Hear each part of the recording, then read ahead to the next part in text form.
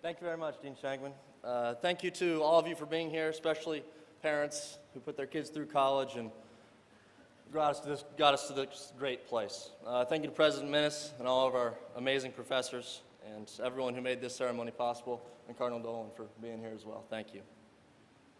So uh, I almost uh, didn't get to print this speech. My remaining uh, WEPA dollars expired yesterday, so I had to find some more. According to Winston Churchill, a great speech has three things a great introduction, a great conclusion, and as little as possible in between. so that's the model I've decided to follow.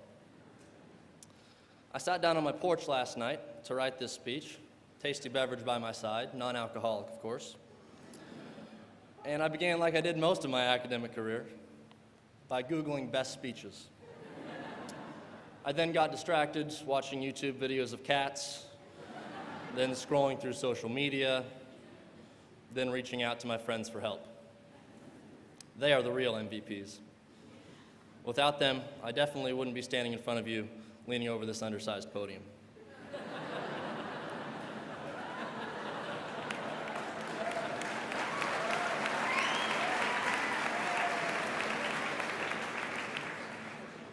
At the most recent three hour and 14 minute athletic recognition night, Daryl Jones put a great perspective on awards and recognition.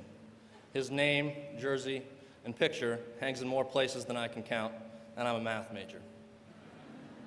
But his simple response is that he is just a representative of his class, as am I. They needed to pick somebody to come up and talk, and they figured some white guy from central Kansas named Jerome would work, I guess.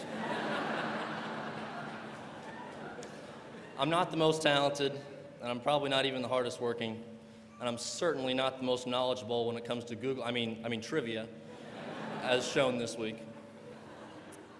But through the perfect storm of wonderful professors, fantastic friends and classmates, an amazing and beautiful girlfriend, and the most encouraging family in the world, I'm able to be here representing us, the Benedictine College class of 2016. It's been a great handful of years for us, We've seen buildings go up, fields torn down. The baseball team said goodbye to the hill. No exaggeration here, we made snow angels on Friday and then played a doubleheader on Saturday. Welcome to Kansas. When the first big storm of freshman year hit, I was in study hall preparing to walk back to Turner in the rain. At the doorway, there were a couple of the biggest and baddest dudes on campus calling their mothers before they walked out in the big scary storm. Welcome to Kansas. Our class has made some spectacular memories at Arrowhead Stadium, won conference and national championships, and we marched for life three and a half times. and ours will some, be some of the last names up the signing tower. When we graduate, we will become teachers, doctors, lawyers, engineers, nurses, scientists, brothers, sisters, priests, and nuns. But we will all be ravens. I don't think there's an official record for this, but our class holds the record for the most fight songs ever sung. No, no, no, no, no, just kidding. That comes later. That comes later. Apparently, it's traditional for a valedictorian to give some words of wisdom to his class, so here's three of them. Number one, be persistent. I would not have had the blessing to coming into this great college if it had not been for the persistence of one staff member sitting up towards the front. Somebody wake up Coach Murphy, turn up his hearing aid, and thank him for his persistence. he just wouldn't stop calling me, asking me how my basketball games were going, and trying to get me to sign. Thank you, Coach. Secondly, take a proper perspective on life.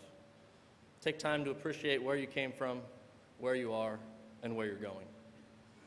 Make an impact on someone else's life every day by letting them know that you love them.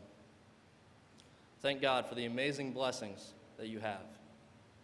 Make a choice, even when it's difficult, to live life simply and joyfully.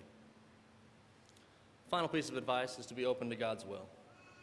However, we humans measure success with all our medals, awards, and titles, this really comes secondary to the one thing that really matters following Jesus Christ, following whatever path the Lord has in mind for us.